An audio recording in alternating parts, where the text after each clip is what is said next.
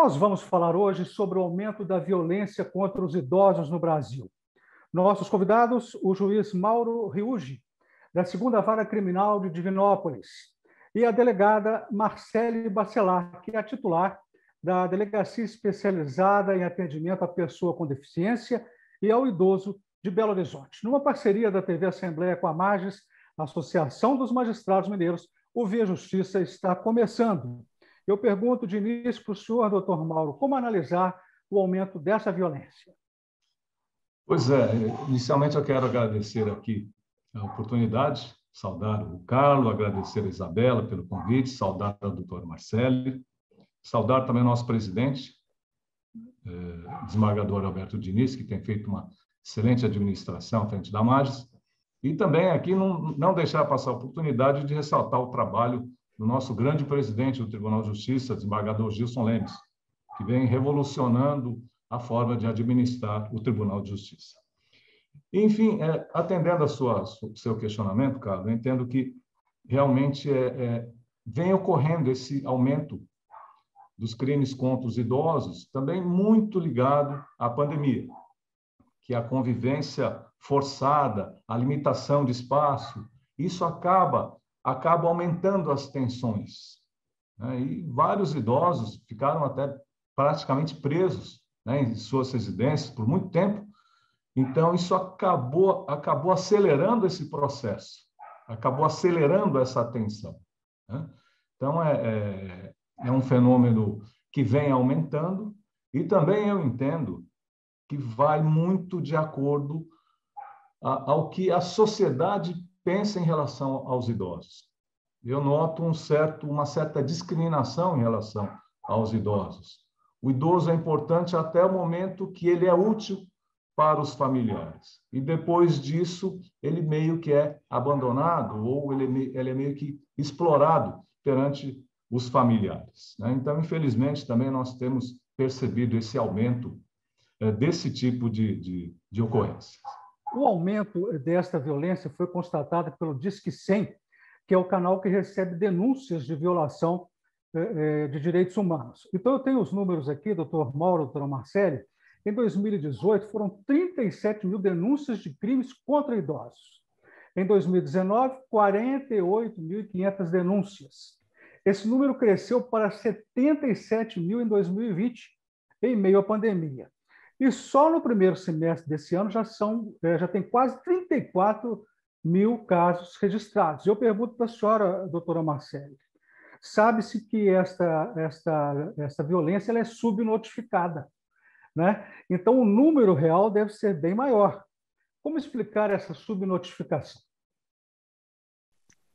É, bom, queria agradecer também a presença né, e o convite para participar. É, a subnotificação, muitas vezes, porque, infelizmente, a gente percebe que a violência contra o idoso, na maioria das vezes, acontece dentro do próprio núcleo familiar do idoso, né?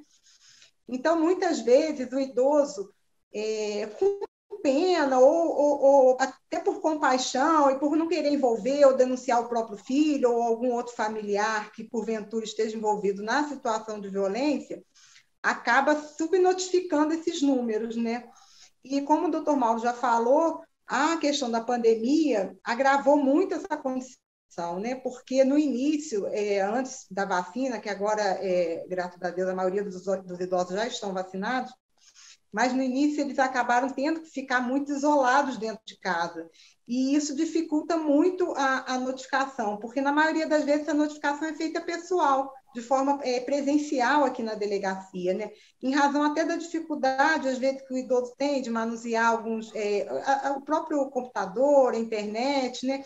embora a gente tenha delegacia virtual aqui, onde pode ser feito o registro de violência, mas às vezes, em razão até de alguma dificuldade que o idoso apresente, acaba também Mas é curioso, a senhora disse aí, por exemplo, a pandemia, claro que agravou esse quadro, mas hoje tem uma certa flexibilização, né, doutor Mauro? Mas a gente nota que a violência está presente. Como, como explicar isso? Quer dizer, houve a flexibilização, mas a violência continua sim, sim, latente, é. né? Vamos dizer sim. assim. Aí também entra, é, eu acredito que entra uma questão social. É, exatamente, entra a, a, o aumento da, da, da tensão.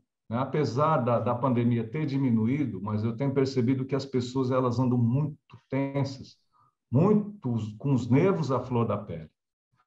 Então, qualquer tipo de, de problema, qualquer tipo de, de pressão familiar acaba redundando numa violência. E também complementando aqui a pergunta, a resposta da nossa ilustre delegada, doutora Marcela, também eu tenho percebido isso lá na segunda vara criminal, né, que nós atuamos com a Lei Maria da Penha. Então, nós temos muitos casos onde o casal é ameaçado ou é agredido, né, especialmente quando envolve uso de drogas por parte de um filho, por exemplo. Então, existe uma ameaça, existe uma, um, uma subtração de bens, onde o sujeito drogado vende bens para para conseguir a droga ou exige dinheiro dos pais. Em muitos casos, o, geralmente ocorre o que uma, uma, uma leniência de alguma das partes, geralmente a mãe.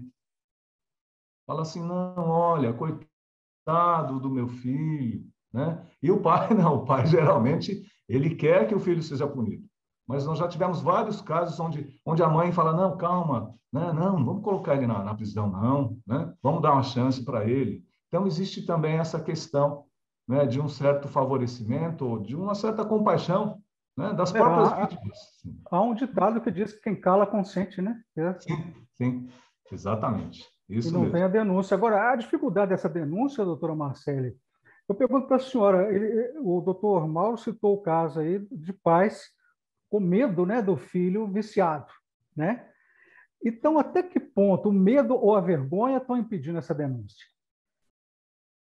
Eu acho que é uma mistura do, de tudo, né? É medo da, da, de denunciar o filho, a situação se agravar, é, é, a vergonha né, perante os vizinhos e até perante os outros familiares, e a dificuldade de lidar com a, com a situação da, da, da, do uso de droga né, por parte do filho, que a maioria dos casos é, é realmente do uso de droga, é um problema social muito grave e que intensifica né, essa, é, esse conflito familiar, porque é, são usuários de droga que exigem é, dos pais é, o dinheiro para a compra de droga. Se os pais não fornecem o dinheiro, é, eles subtraem objetos do, da, da, residência para vender e trocar por, por, por substância entorpecente.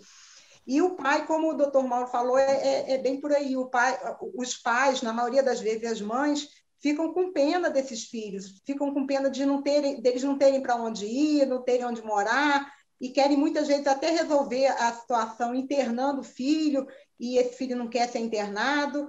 E aí é, é uma situação social né, que agrava muito a, a, a questão da violência contra o idoso. Eu queria mais exemplos é, do dia a dia do senhor aí, doutor Mauro, nessa questão hum. da violência contra os idosos. O senhor contou esse caso, mas tem outros casos emblemáticos? Sim, sim. É, nós temos também, é, infelizmente, um alto número de, de estelionatos contra os idosos. Né? Geralmente, o idoso na, na, agência bancária, ele tem uma certa dificuldade em, em mexer com, com o sistema de informática, e sempre o estelionatário aparece nessa hora, tentando até se aproveitar da, da, da situação né? e induzindo a vítima em, em erros, em fornecimento de senha e etc. Né? Também existem esses casos. Também temos casos, infelizmente também comuns, de filhos que procuram obter um, um, uma vantagem patrimonial em relação a eventual bens do próprio idoso, né? exigindo que o idoso passe o bem para o nome dele.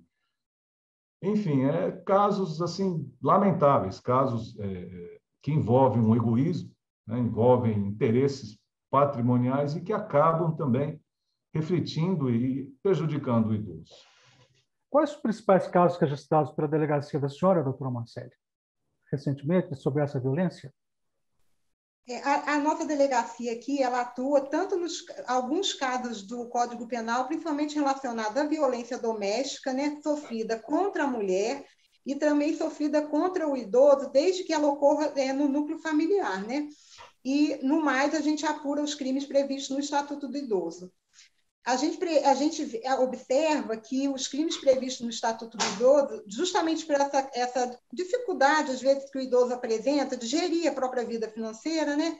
é, também são muito recorrentes. A questão do idoso, às vezes, entregar o cartão de algum benefício previdenciário para o filho ou algum parente mais próximo administrar ou ir até o banco, porque tem alguma dificuldade, às vezes até não só dificuldade é, de manusear mesmo, de lidar com o sistema financeiro, mas também, às vezes, alguma dificuldade de locomoção, de deslocamento, e entrega o cartão bancário do, do benefício e o, o, o, portador do cartão acaba, às vezes, retendo esse cartão, retendo o valor do benefício do idoso em benefício próprio, não repassa esse valor ao idoso, ou se repassa, repassa em parte, de forma que não atende às necessidades do idoso.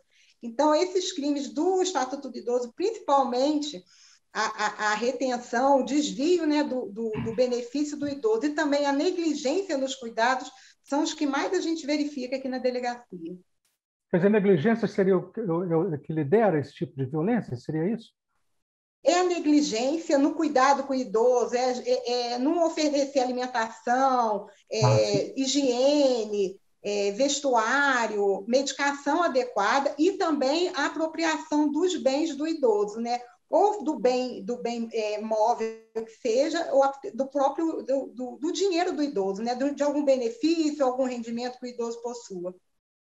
Doutor Mauro, o senhor falou aí, também a doutora Marcele, sobre a violência patrimonial, e a gente sabe que o CNJ, no ano passado, salvo engano, tem um ano, fez uma recomendação, recomendação 46 aos cartórios. Sim. Isso ajudou muito, isso vem ajudando muito. Como é que o senhor analisa essa recomendação do CNJ? Olha, Carlos, é uma recomendação muito pertinente, porque traz uma maior proteção aos idosos, aos idosos, né? Então, nos casos, por exemplo, a recomendação fala da, da, da notificação, do, da comunicação às, autoridades competentes no caso de antecipação de herança, movimentação indevida de contas bancárias, venda de imóveis, tomada ilegal, vai dentro do que a doutora Marcela acabou de falar, mau uso ou ocultação de fundos, bens ou, ou ativos. Ou seja, isso visa o quê? Visa proteger né, proteger a, a, a, integridade econômica do idoso. Eu acho uma medida muito importante, muito salutar e eu entendo muito eficaz, porque aí, assim que a autoridade tomar conhecimento, ela já toma imediatamente as providências para tentar coibir essa situação. Doutora Marcele, o Estatuto do Idoso está completando esse ano 18 anos. Como que a senhora vê essas conquistas do Estatuto? E também no próximo bloco nós vamos falar sobre as dificuldades de aplicação dessas normas. Mas como que a senhora vê o estatuto aplicando no dia a dia aí na delegacia? A gente, é, a gente vê o estatuto como uma norma assim, essencial à defesa dos direitos da pessoa idosa, né? mas é, em algumas situações eu ainda vejo a necessidade de que é, algumas penas ainda sejam é, mais agravadas, né? principalmente essa questão da negligência a negligência nos cuidados com idosos, às vezes quando a gente fala assim, ah, de uma negligência menor, que não cause tanto é, prejuízo à saúde física e emocional do idoso, é, ainda que, vamos dizer, seja aceitável, mas a gente vê situações muito graves. É, eu estava lendo agora, acabei de ler um, um inquérito aqui, que o, o idoso, é, se eu ter noção, né, o, o, as fezes do idoso e, e, e, a urina eram mantidas no quarto do idoso, dentro de um, de um balde, e não, o, o, filho não fazia limpeza, e a cama do idoso é, cheia de urina, porque não era feita a, a limpeza é, de forma adequada, né? E acaba que isso aí, a depender da situação, você coloca num, num, num crime que prevê pena de um ano, né? E aí é passível de juizado especial né, porque é um crime de menor potencial ofensivo, e, mas, eu, mas existe um projeto de lei que já está tramitando para rever essa, alguma das penas, né, para tentar agravar um pouco, e de forma que o, que o, que o agressor seja efetivamente punido, né, e com maior rigor para que é, evite a, a, a, a ocorrência de novas situações dessas em relação aos demais idosos. Doutor Mauro, no próximo bloco, eu vou abrir o bloco com o senhor Vamos falar sobre essa questão da pena, da penalização, né, a partir desse caso citado pela doutora Marcela. Via Justiça faz agora um rápido intervalo, voltamos em instantes.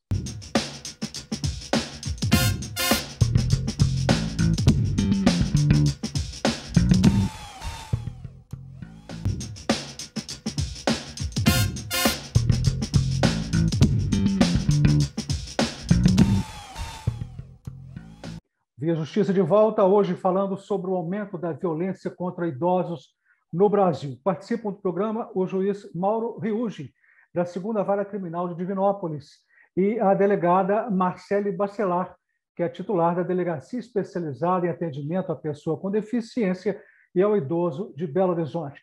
Doutor Mauro, a questão da penalização. No bloco anterior, a doutora Marcele questionou a, a penas pequenas.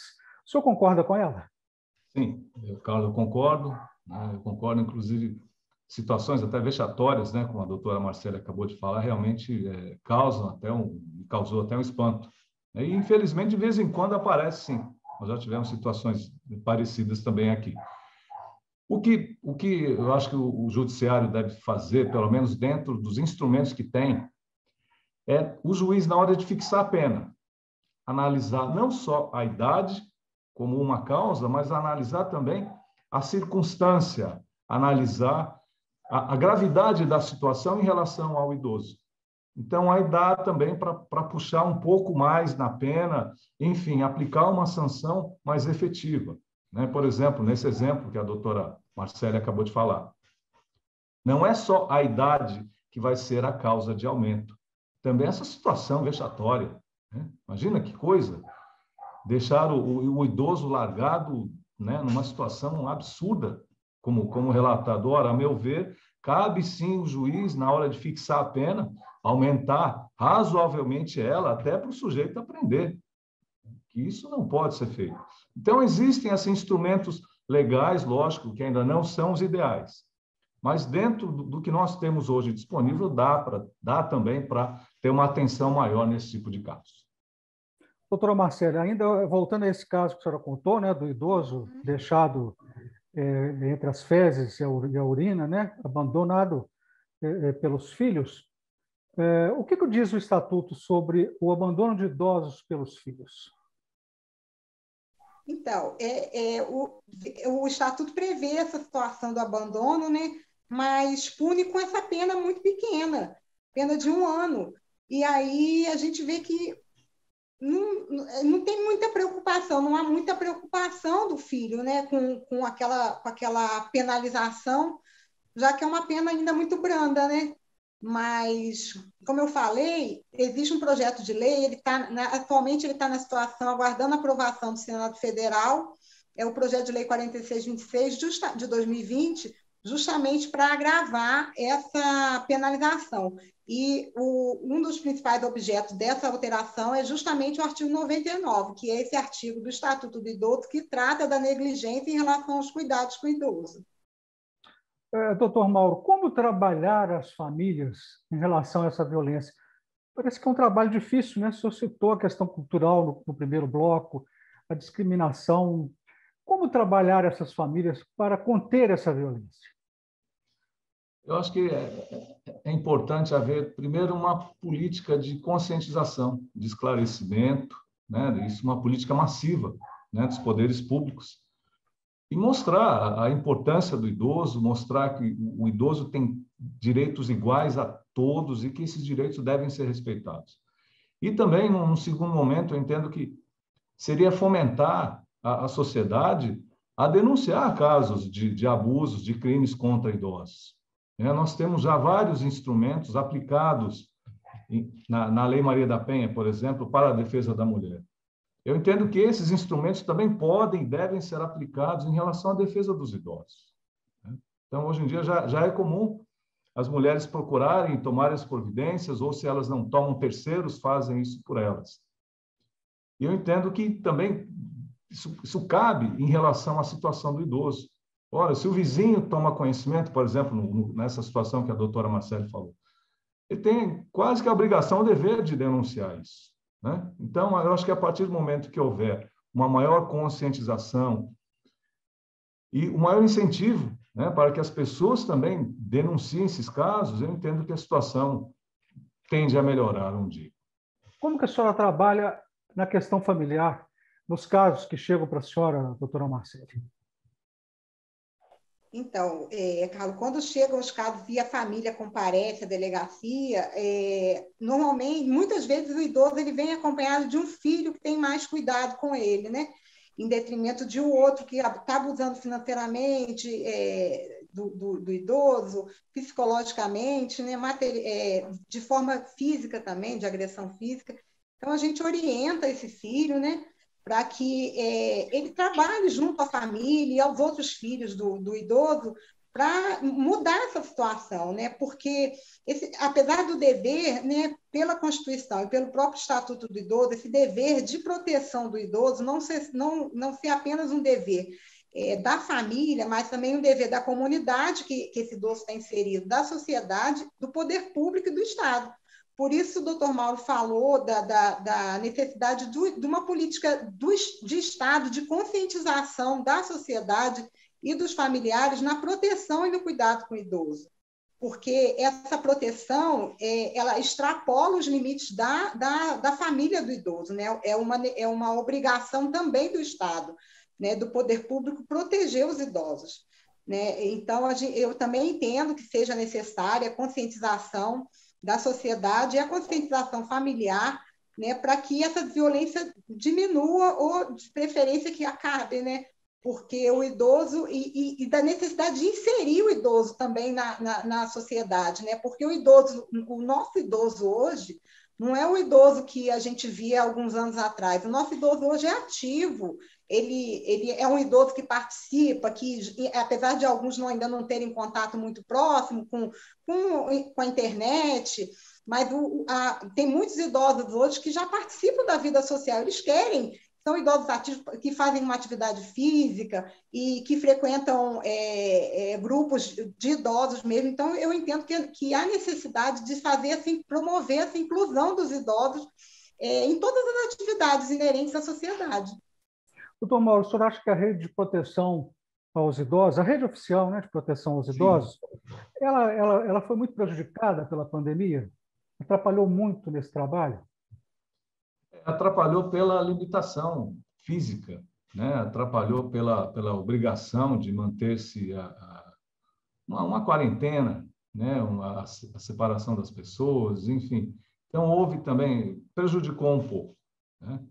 Agora, só complementando também a resposta da doutora Marcele, algo importante que eu, eu pesquisei, eu descobri algo interessante, que hoje o mundo é comandado na sua maioria, por pessoas acima de 60 anos.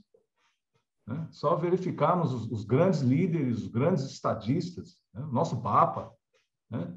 os nossos governantes, enfim, as pessoas uh, de alta representatividade. Outro dia estava lendo a, a, biografia do Abílio Diniz, né? com quase 90 anos. São pessoas que ainda comandam, um, comandam grandes corporações, grandes sistemas. Né? Então, são pessoas extremamente inteligentes, pessoas ativas, pessoas com, com grande capacidade, inclusive de vida, né? com grande experiência de vida.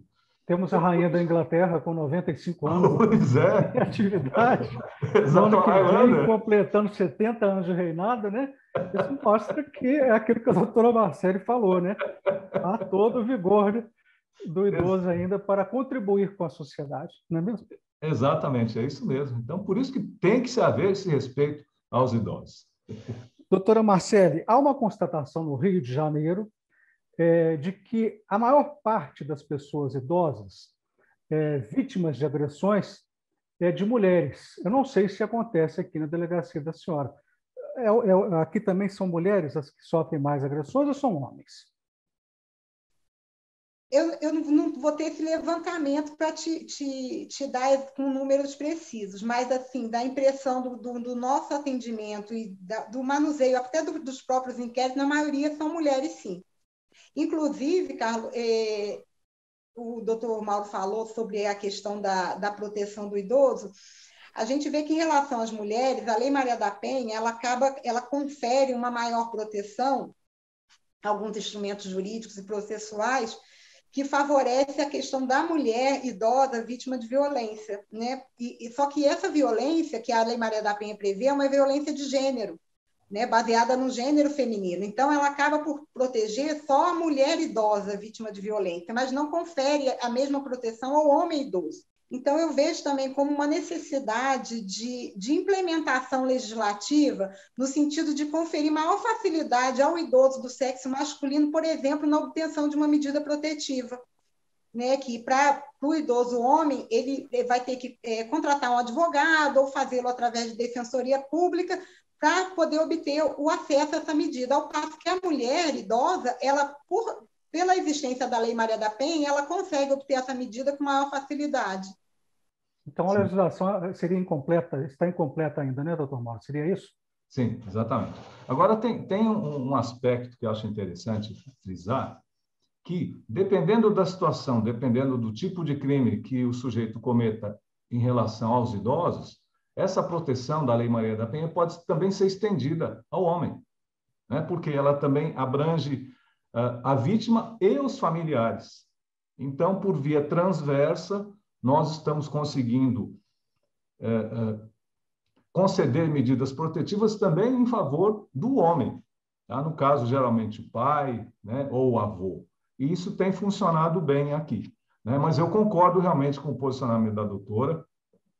É necessário que haja uma alteração na lei e que seja, seja uh, uh, específica essa proteção ao idoso. Né? Por exemplo, o idoso que mora sozinho, como é que ele vai ficar? Ele não vai ter a proteção da Lei Maria da Penha. Né? Então, realmente, é muito importante haver essa, essa mudança legislativa. Segundo a Agência Brasil, a estimativa do IBGE é que, em 2060, um em cada quatro brasileiros terá mais de 65 anos de idade. Eu pergunto para os senhores: se essa violência não for contida agora, o que será amanhã? Doutora Marcele. Pois é. Por isso que é, é, é, esse envelhecimento da população né, é uma coisa que é um fato que vem ocorrendo, né? e que, por conta disso, justamente, a, a, a, proteção ao idoso, né, que por ser considerado um grupo vulnerável, merece essa especial atenção da sociedade e do Estado, ela tem que ser ampliada para cada vez mais ser assegurada e conferida à, pessoa idosa né, a, a proteção de que ela precisa para ter uma vida digna e, e, compatível com tudo que ela ofereceu à sociedade, ao Estado e à sua família ao longo de, dos anos que ela viveu. E, justamente, é, na, na, na, quando ela se torna uma pessoa idosa e que mereceria maior atenção e cuidado, é quando ela é mais violentada e sofre toda sorte de violência. Doutor Mauro, considerações do senhor, considerações Sim. finais. Sim. É, Carlos, eu acho importante haver essa conscientização agora, porque, como você falou, daqui a pouco teremos muito mais idosos. E outra coisa também, se nós não passarmos a lutar por isso agora, daqui a algum tempo, e é, esse é o andamento normal das coisas, nós também estaremos do outro lado. Né? Nós também sofreremos isso. O que os idosos sofrem hoje, nós também passaremos a, a, a viver da mesma maneira ou passar a ter os mesmos problemas. Por isso que é importante, essa é uma luta atual, é uma luta que tem que ser iniciada agora, né? Para que mude o parâmetro para gerações futuras. Muito obrigado ao senhor, muito obrigado à senhora pelas participações. O Via Justiça de hoje termina aqui. Nós conversamos com o juiz Mauro Riugi, de Divinópolis, e com a delegada Marcele Bacelar, de Belo Horizonte. O Via Justiça é uma parceria da TV Assembleia com a Magis, Associação dos Magistrados Mineiros.